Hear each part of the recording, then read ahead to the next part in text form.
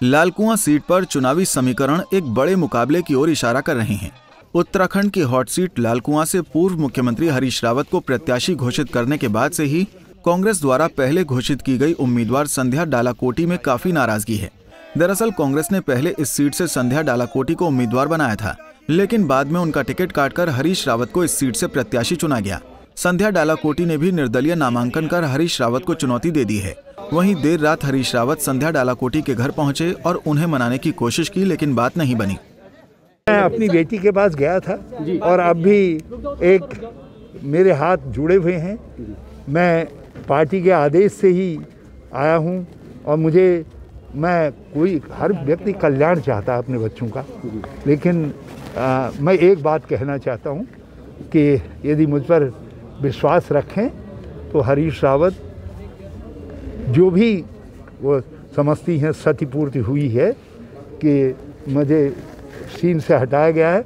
हम हम अपने राजनीतिक पूंजी को उनके पीछे लगा करके उनको फिर से महत्वपूर्ण स्थान पर स्थापित करें। वहीं लालकुआं सीट पर मुकाबला कड़ा होने की संभावनाएँ भी बेहद बढ़ गई हैं। हाल ही में जब कांग्रेस ने लालकुआं से संध्या डालाकोटी को मैदान में उतारा था तो पूर्व कैबिनेट मंत्री हरीश दुर्गापाल और हरेंद्र बोरा ने बगावती रुख अपनाया था।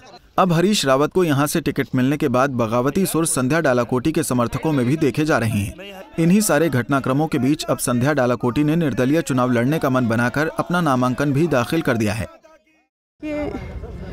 एक माँ का सम्मान, एक पत्नी का सम्मान, एक बहू का सम्मान, एक बेटी का सम्मान, जिस तरह से इस आज लालकुआ विधानसभा नहीं, पूरे उत्तराखंड में एक आँसू महिलाओं के निकल रहे हैं मेरे पास कई लोगों के फ़ोन आ रहे हैं कि आप संघर्ष करिए हम आपके साथ हैं।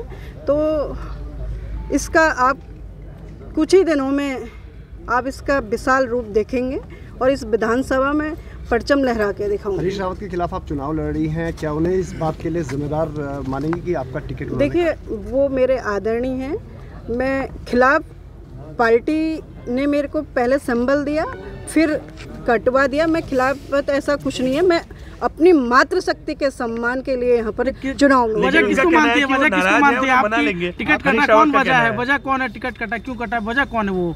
देखिए वजह तो सबसे बड़ी तो मैं ये बात कहना चाहती हूँ भैया इतनी बड़ी राष्ट्रीय पार्टी है जिसने मुझे टिकट दिया। सबसे बड़ी वजह वही है कि उनने मेरा टिकट काट दिया। वहीं बीजेपी प्रत्याशी मोहन बिष्ट ने भी अपना नामांकन दाखिल कर दिया है। जब उनसे पूछा गया कि उनके सामने मुकाबले में पूर्व सीएम हरीश रावत खड़े हैं तो उन्होंने कहा कि कई बार छोटे चेहरे भी बड़ा गेम कर जाते हैं। शेर को हराकर बब्बर शेर बनने का मौका है। ये आ, बहुत सामान्य बात है। कई दफे ऐसा होता है कि बड़े चेहरे और छोटे छोटे चेहरों की टक्कर होती है और छोटे चेहरे चूँकि वो स्थानीय मुद्दों को जानते हैं स्थानीय लोगों को जानते हैं स्थानीय लोगों के साथ रहते हैं उनके सुख दुख में शरीक रहते हैं तो इसलिए वो लोग जीत जाते हैं। क्या शेर बनने का मौका है आपके पास हरीश रावत को हरा करके? निश्चित रूप से बब्बर शेर बनने का मौका है। चुनाव की सरगर्मियाँ टिकटों के ऐलान के बाद से अपने चरम पर हैं। कांग्रेस और भाजपा में लालकुआ सीट पर घमासान मचा हुआ है। जहाँ भाजपा से मोहन बिष्ट को टिकट मिलने पर पवन चौहान बागी हो गए हैं तो वहीं कांग्रेस से संध्या को टिकट मिलने के बाद कांग्रेस ने उनको दो दिन बाद बदलकर हरीश रावत को मैदान में उतार दिया है, जिसके बाद संध्या डालाकोटी ने निर्दलीय ताल ठोक दी है। हल्द्वानी से तारा जोशी की रिपोर्ट।